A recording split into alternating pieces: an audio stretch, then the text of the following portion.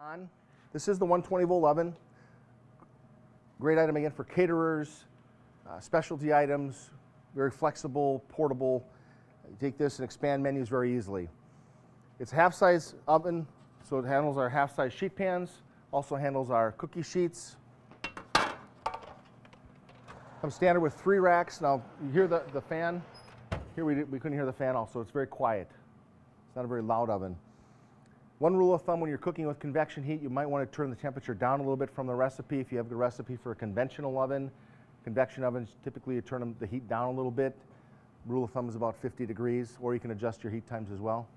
The broil function on this oven is dependent that you turn off the bake function. So on the bake function dial, you turn it past the high setting, and you'll see a little icon on there for the broiler. In order to get the broil function on, you do have to adjust that on the, on the bake timer, or excuse me, the bake thermostat. But this one is dependent on the timer. So if I turn the timer off, it turns off. This one does have on the timer, if you go past the timer, there is a 100% on.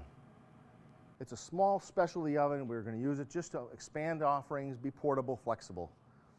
Okay, so this oven again, um, perfect for caterers.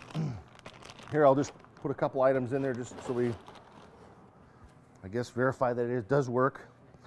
Uh, a couple of small little items that a caterer would use, some quiches, some little seafood items in. Another, just some, some rolls, fresh rolls or something like that, right? That a caterer might use or a, at a uh, satellite cooking station, say out in a uh, restaurant, you've got a nice little area that bakes the the bake station and they want to cook the rolls fresh to order, you put some rolls on there, warm them to order, or bake them to order rather.